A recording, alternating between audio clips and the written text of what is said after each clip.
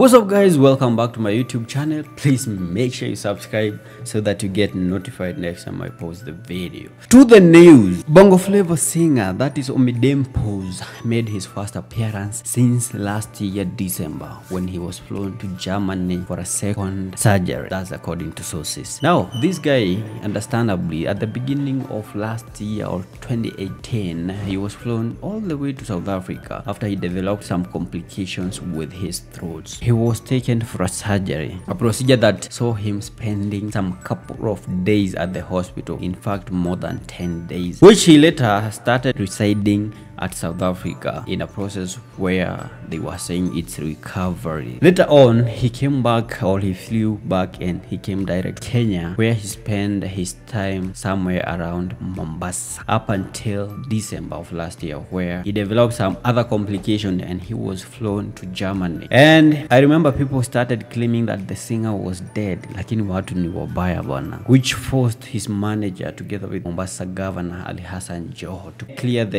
air saying that the singer was healthy and sound and he was flown to Germany for a routine checkup. Now, it seems the surgery was successful after the singer is back looking better, although he seems to have lost some considerable amount of weight. Willy Paul or Willie Pose shared a photo with him, and soon, if everything goes well, this guy will be back on our screens. Now, this is the photo, that is a photo of them with Willy Paul somewhere around Mombasa or coast. I don't know which coast is this, but I think of Mombasa. And the guy is looking healthy, yeah. Yeah, all the best to him as he is still on the journey of recovery and hitting back our screen with his lovely self. That's what's up. Please make sure you subscribe. I'll be back with more news. Thank you for watching.